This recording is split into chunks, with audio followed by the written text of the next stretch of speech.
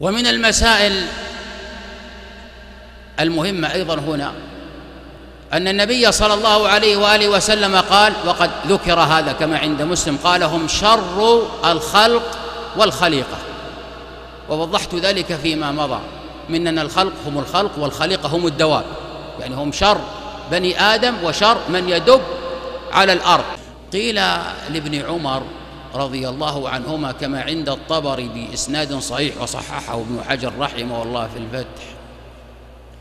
قيل له لماذا تقول إن الخوارج هم شرار الخلق والخليقة؟